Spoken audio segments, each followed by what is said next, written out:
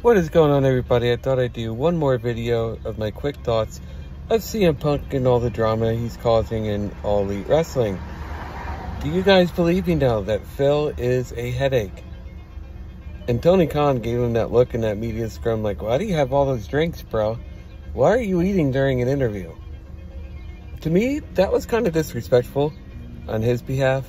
They're interviewing you and you're sitting there drinking and eating like you're at dinner or at home at lunch or something, dude, they're paying you to do a media scrum. That's acting like you're bigger than a business, and I don't like that.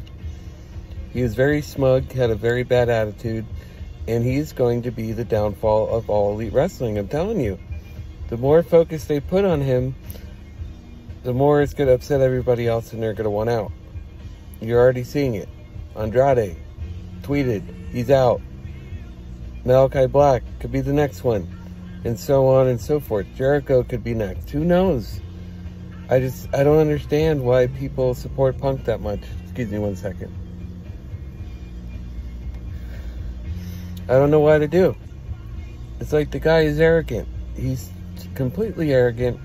And what, what do you guys like him so much? Those of you that do, are you seeing his real personality now? Now, some of you are saying, oh, this is a work. He's just being an ass because they're working, trying to work everybody to bring interest to AEW. Um, if you have to do all that just to get people to watch All Elite Wrestling, there's that should tell you something about the product. I don't, I don't know what else to tell you guys.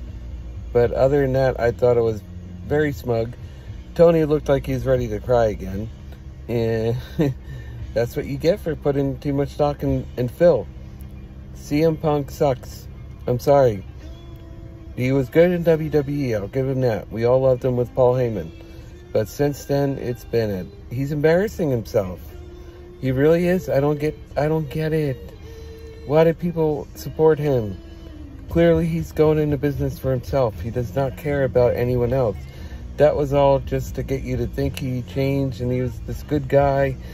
Oh, I'm back. I want to put over the young talent. Bullshit. No, you don't. You have a plan just to get yourself over, and that's it. So please, please, please, everybody, don't fall for his garbage.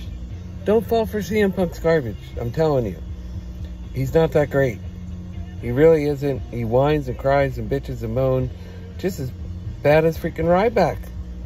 I never thought anybody could top him, but CM Punk, you, sir, are getting closer and closer to him every single day.